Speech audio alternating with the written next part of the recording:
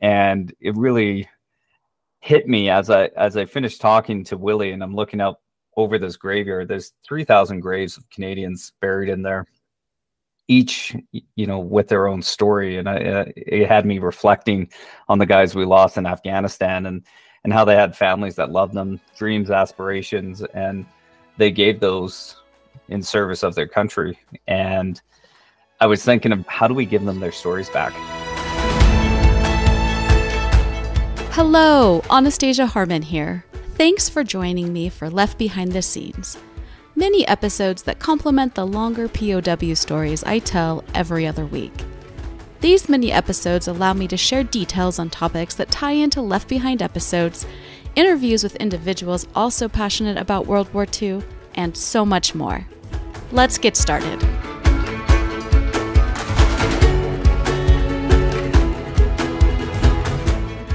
Couple months ago, I was wandering the expo hall at RootsTech. That's the largest family history conference in the United States.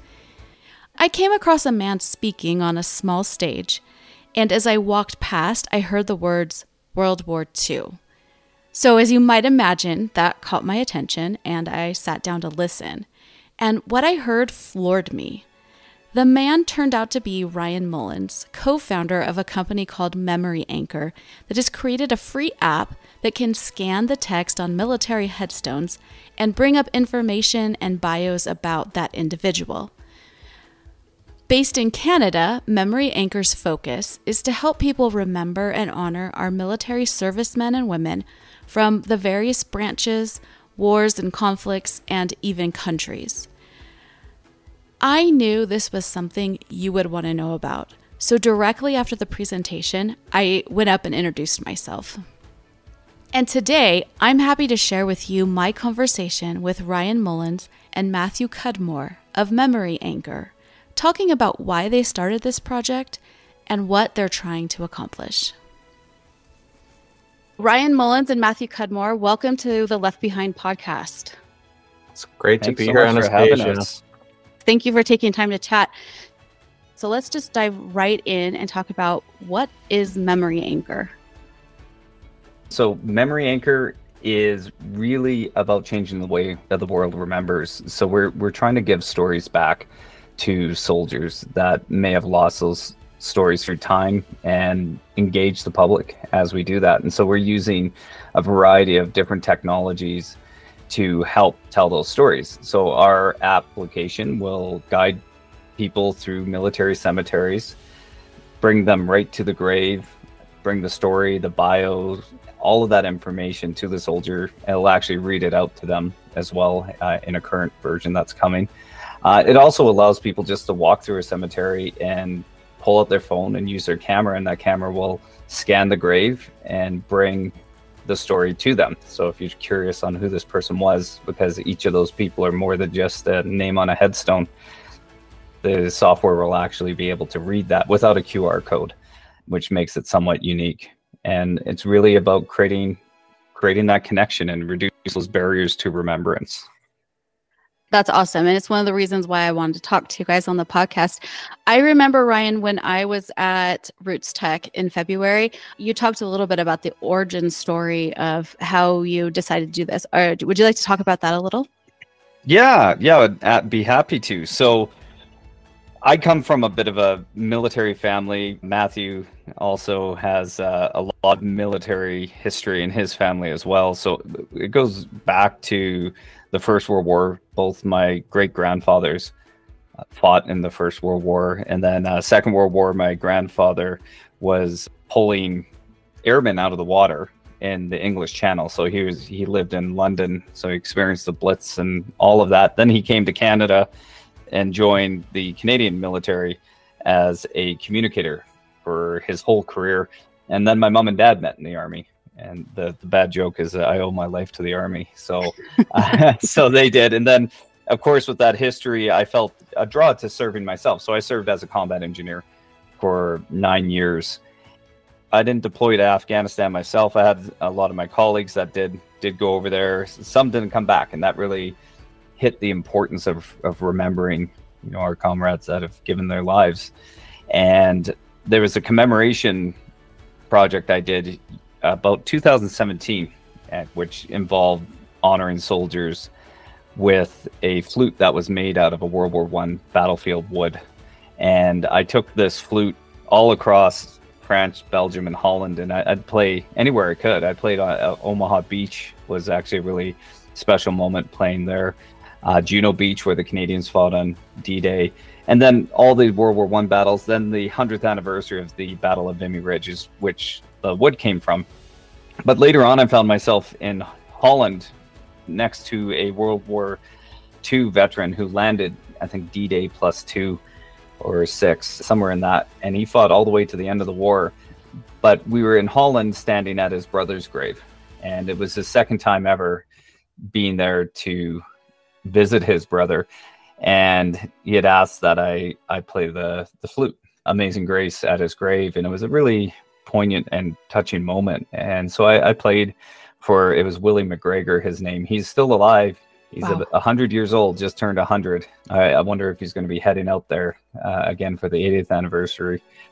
I played for him, and he told me all about his brother John. Told me a little bit about his experiences of the war, and it really hit me as I as I finished talking to Willie and I'm looking out over this graveyard. There's 3,000 graves of Canadians buried in there, each you know with their own story, and I, uh, it had me reflecting on the guys we lost in Afghanistan and and how they had families that loved them, dreams, aspirations, and they gave those in service of their country and I was thinking of John and Willie and everyone, and just how do we give them their stories back? How do we create that connection to these people so we can have that empathetic experience of just knowing these soldiers in a different way?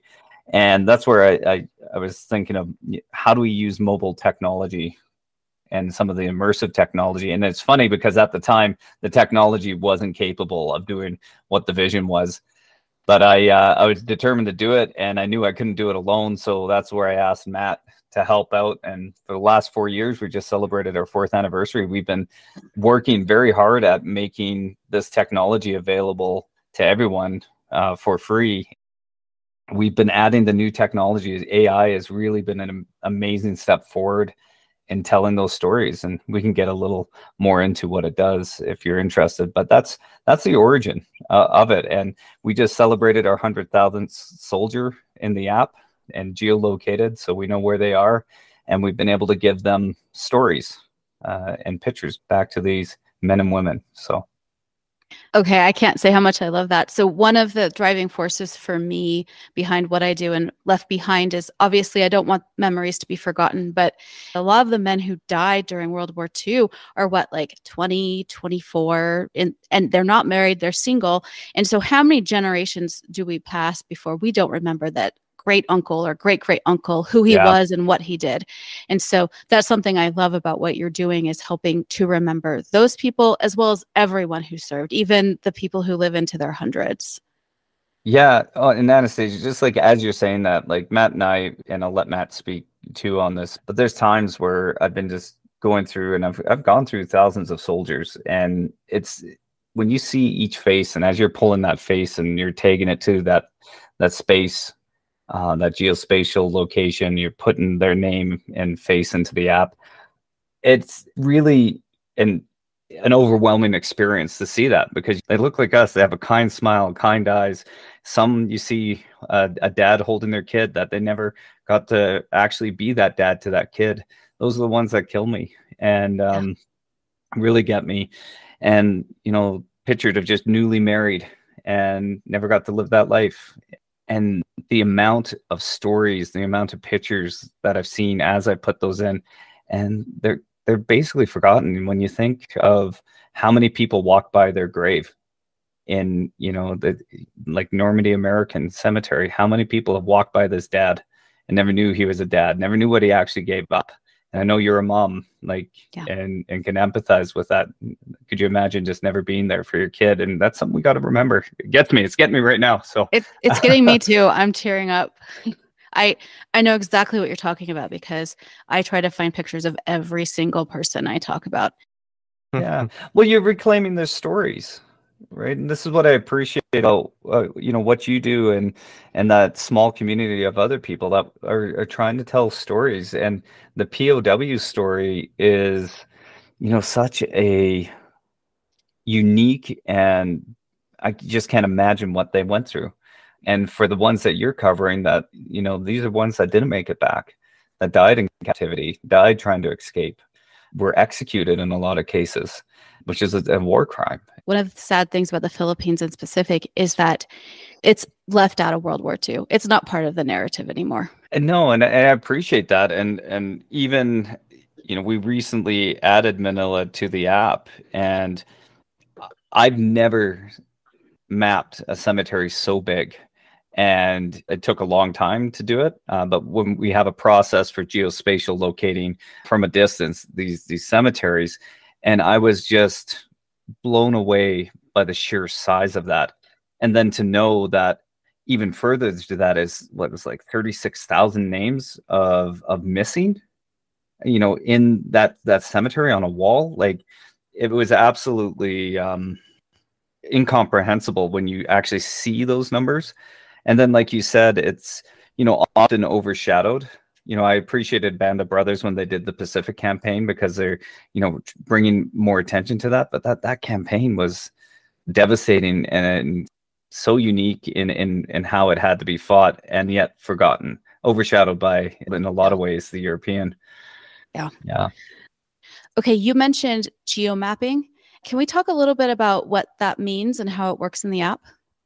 Sure. I um so one of the th- one of the things that is is really important so you, when you see manila in in particular imagine going in there and trying to find a soldier. So generally what you'd have to do is look something up get their plot location grave number row number and and start wandering your way through the cemetery to find that.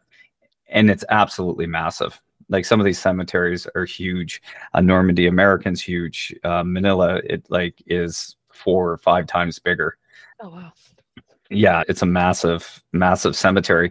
So what's really important is being able to find the GPS locations of each of the graves, and then we attach that to the name of the individual. So the process is we've developed a software that allows us to estimate the grave location of the the soldier, and because of the the very systematic layout of these cemeteries, it's it becomes easier for us. It's not easy, but it's easier for us to be able to find those locations. So we can get down to about 10 centimeter accuracy. And that really wow. allows people, yeah, you go into the app, you put the name in that you're looking for, select the individual, and then you find on site. And then your little blue dot can go right to to that. But it also allows us to create tours as well, which can take you from individual to individuals because many of these individuals you know their lives and their stories are intertwined and it tells a greater story. Really is why that geospatial location is so important because we start creating connection in a different way. So question about the the tours. So they're tours that you create on your end and then people on site can go from person to person and learn their stories is that what it is? So how we've actually created the company is we've created the software that will power the app which allows veterans affairs organizations from around the world and different organizations to actually go into the back end of the app and put their information in. And what's really nice about this is for tour functionality in particular so once the soldiers are in there the cemetery operator or the organization can go in and quickly put the tour together by just searching the names, clicking them in, and it links them into that tour. And you can set up a tour within five minutes. And so if you knew like the POWs in Manila, it's boom, boom, boom. You put them in, and it'll link them together as a tour. Or perhaps you wanted to see Marines of Iwo Jima, or you know whatever whatever that is. You can just kind of put them in, and you'll be able to to create a meaningful tour for people. It's really like connection. These these small pieces and these connections that's that's what we rec- as humans is so important is connection. Like connection to each other but connection to our history and connection to story. And when we can tell story we're so much more connected rather than just information. And that's really like what we do, we work with the Commonwealth War Graves Commission, and they tend to 1.7 million soldiers' graves. And uh, the vast majority of information they have is like name, date of death, rank, you know, you know, service number, and family. What we've been able to do is take that information using AI to actually give them a little bit more of a bio and then connect those to historic events and different things like that. And then all of a sudden, what from what we had is very sparse information is a, a somewhat meaningful story, even if it's short, but connecting them to events and time and space. That's about giving the soldiers their story back even in, even if it is just representative of their death, that does say a lot of what they gave their lives for. You're right on, Ryan. It's the stories. It's the stories that connect us. And if we can learn the stories of not just not just our military people, but all our people, like there's just this connection, even though they've passed, there's some kind of strong connection in knowing people's stories. So I am right there with you. With the tours, are they just on site or could you do it virtually? Is that you, Matthew? this is a key thing for us is that we have to be realistic about how many folks, you know, for reasons of time, money, mobility, how many folks are going to get to these important places, to these final resting places. And so that's why with the app, we we try as best we can to balance that on-site interpretive experience, but also we want folks that are at home on the couch or in a classroom to still experience these stories. So you can you can boot up the app. It's available free forever that's a key thing for us and, and you can you can search for manila american cemetery for example and it's right there on your phone and you can you can look through those photos and, and take those tours we're seeing increased adoption across educational institutions classrooms students. They're using it on site which is which is fantastic. It's kind of giving educators a reason and, and a tool that's just ready to go that they can they can schedule that field trip, visit the cemetery, and there's something for those kids to do as they wander the rows that isn't hopping on Instagram. It's doing something good with that phone that's in their hands. So we're thrilled to hear that. But in the classroom as well, really, really nice educational tool. We encourage any educator to reach out and let us know ideas on ways to also improve this as an educational resource as well because that's a, a, huge reason why we exist is we want to connect the next generation with this history because uh, how could we forget it how shameful would that be can you tell us a little bit about how the app works yeah so the memory anchor explorer app is two things basically it's a front end app this is what the user will experience, and I'll explain those features. And then there's a back end which our clients like the Veterans Affairs organizations use, and that's where they put the information in. And so the, once that information in, in, it goes to the app. And so the app really is designed to bring those stories to people, and we're trying to reduce the barriers of getting the story. So it means that people can go into the app and search. they'll be able to search up the name. It'll sense where you are and bring the closest graveyards to you. So it'll list them based off of your proximity. And say if you were at Manila, what it will do is it'll be able to say you're at Manila, you can open Manila up, you can search anyone in there, you can look up their bio, and you could press on site, and which means like where are they on the site, and it'll show you and guide you exactly to their grave. We have some AI voice technology that will read the bio out to you. This is a really exciting feature that we've recently put in. We have a form of AI that reads the gravestone. There's a lot of companies out there that put QR codes, little metal mm -hmm. QR codes on on headstones, and okay. people will scan them and then get the story. Challenge with that is it's very the heart is in the right place, but cemeteries don't want that on their graves. And you can imagine if you went to the Vietnam Memorial, for example, and every soldier all of a sudden had a QR code pasted next to their, it, it takes away from the actual memorial. So what we've designed is an AI software that reads the headstone or the name on the memorial wall and brings you the bio back to you. So right now, that is available on the app. Our next version is going to do and we're in, in production right now where it actually reads it in real time and then presents you with the name and the picture as it's reading it. Mm. And so that's really great for memorial walls as you're scanning through the names. So there's a variety of features that are all really designed to return the story to the individual and also present it in a way that's meaningful to the app user. Anything you want to add to that, Matt? I think like what what makes all this technology meaningful for us is, uh, seeing the adoption at some really notable places, um, which is a huge honor. The commemoration community is small; it's tight knit, understandably so.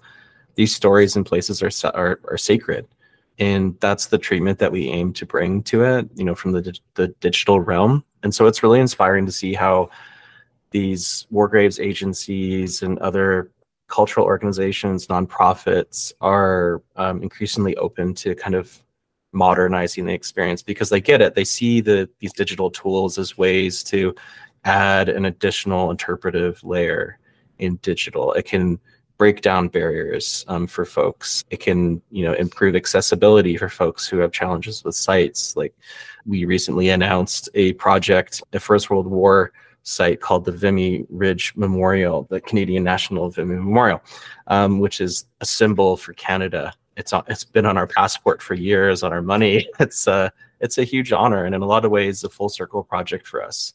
You know, our company was founded on a pilgrimage to this place. Yeah. Um, so cool. it's it's a real honor to you know there's 11,000 names on this memorial, and when the project launches next year, you know all those names will be scannable in real time as you walk the wall. So as you're walking you're giving faces to those names and stories to those names for the very first time. I mean you could sit there and you could google each name and wait for every profile to load but it's right there. It pops up as you go. And yeah it's it's really special to see um, see the i guess acceptance into that community to see that we're here to help we're here to extend that experience. You know, there's over like looking to D-Day 80 and Liberation 80, like in 2024, 2025, there's huge 80th anniversaries coming.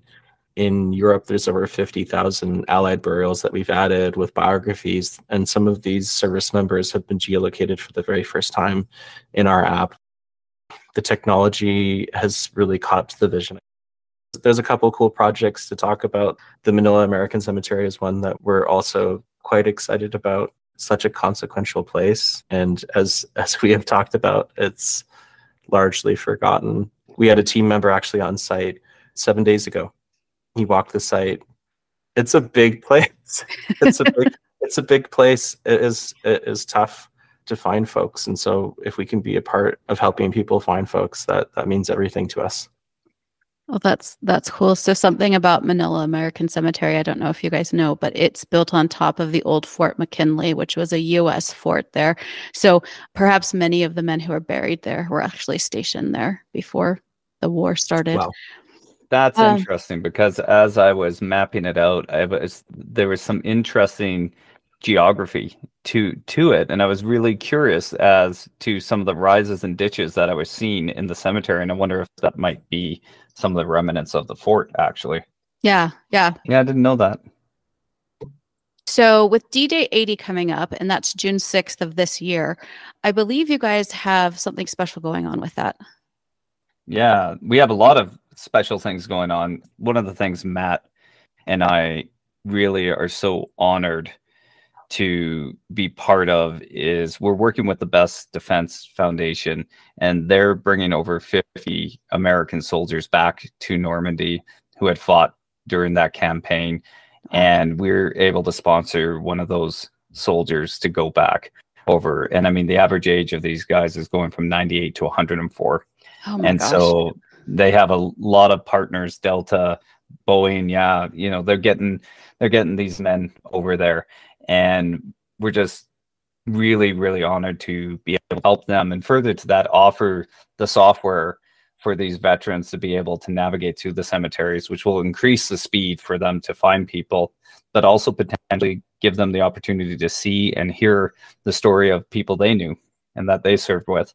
And that was really the dream at, at the very beginning is that we wanted some of these veterans to know that they will be remembered and remembered in new ways there's this kind of analogy of the torch passing the torch from generation to generation and matt and i really believe that that torch can be brightened as we pass it because the fear has always been that it's fading and we really think with technology and the ability to communicate stories, tell stories like you're doing, is we can brighten that torch as we pass it. So that's that one piece that we're really excited on top of the fact that we've put into the app almost every major site in Normandy. How many soldiers, Matt, do you remember offhand we got out there? It's it's over 50,000. It, it might be over 60,000 now. Yeah. Um, and so we've geolocated all of those soldiers and added their smart bios, added any pictures that we have available to us and tours and in partnership with the the Commonwealth War Graves Commission, there's major events happening. Both, you know, we've done the Normandy American, which is about ten thousand, I believe, and then Bény-sur-Mer, Bayeux cemeteries. Those are the Bény-sur-Mer being the Canadian military uh, cemetery, about 2,000 Canadians there, over to Bayeux, which has British and Canadian and other Commonwealth countries, New Zealand, Australia, South Africa. And there's going to be major events happening there and thousands of people out there. And we're hoping to get the word out to as many people as we can that the software is available, whether you're there or at home.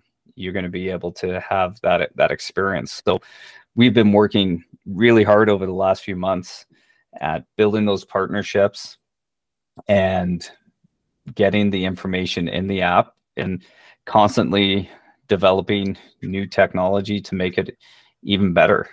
So for the 80th, we're doing that. And then that's the 80th of the Normandy. But then we have the liberation of Holland. We have victory in Europe and also victory in Pacific, which is often forgotten.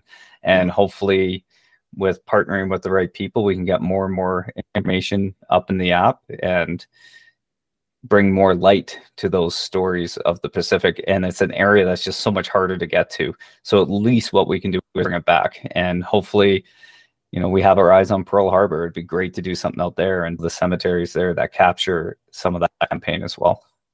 A lot of veterans and even people who died during wars and battles, they have been brought home and buried in local cemeteries.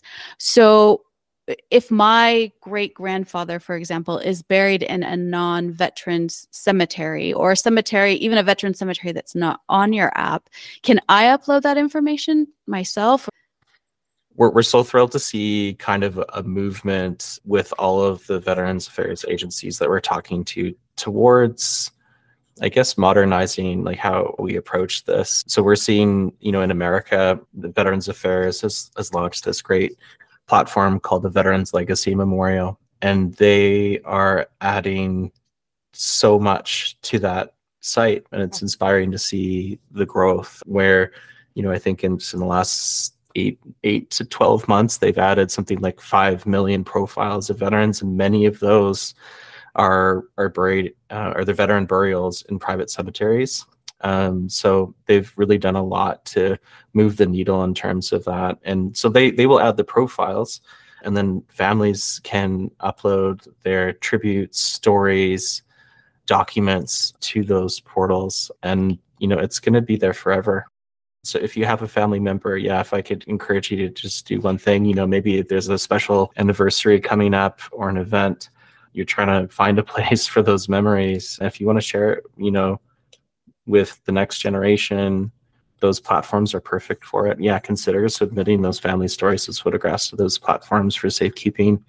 I'd encourage folks to think about it just as an act of service, like it's continue in the spirit of their service that, you know, for mm-hmm. country. I think it's really special that's the flow is that the information comes from the families it goes to the government and then they kind of are looking at it did they really earn a medal of honor? Did they really earn a victoria cross? It goes through the filter a little bit like within reason. I think they're very practical in how they approach this. It goes onto the platform and it's there forever. And then the next step is is for that information then to get mirrored into the mobile application so that the public can walk the rows and they can see those family submitted stories and those family submitted photographs, which I think is so special that we can see that process end to end. And we're there with the Commonwealth War Graves Commission, where there's a process now with the American federal government. You know, we would love to get there. Yeah, that would be amazing. Where can listeners find and download the app? And tell us the name one more time. The app is called Memory Anchor Explorer. So open that app store, whether on iOS or Android and type in Memory Anchor Explorer. It's available. One of the things is just remember it's a free download. Like that was part of what Matt and I, as we were looking, like how do we make this a sustainable, meaningful company? And one of the things that we wanted to make sure is that there was never a paywall between the end user, the person who wanted to commemorate their loved one or anyone, there's not going to be a paywall between them and the actual story of that soldier. So don't worry, if that is free, free forever is what we say. So Ryan and Matthew, thank you so much for coming on the podcast. Is there any last things that people should know about what you're doing? You know, word of mouth is is the best thing. If this is something you're inspired by, download it, check it out, and and tell people about it. At the end of the day, we built this company because we wanted to share those stories, and the best way to share those stories is when people tell others about the software and allow them to access and, and get that. And we're constantly growing and getting bigger and more and more all the time. There's a lot of momentum to that, and so we're adding more and more and more. And I, I think as well, like with with everything you're doing, Anastasia, and, and also with Memorial Day coming up, you know, if you're feeling inspired by this conversation, things we talked about, for example, at Manila American, or if it's getting close to D-Day, loading up Normandy American, like load up the app, find a story that you resonate with, and spend time with that story. Maybe consider sharing it with a friend or a family member, or on social media. Sharing, transmitting these stories keeps their memories alive because when it comes down to it, it's all about keeping their memories alive. Yeah. Well, thank you again for your time. And I'm going to go open the app and see what I can find. We'll see you on there. Okay. Thanks. Thanks. Thank you. Isn't it just amazing what these two men are doing?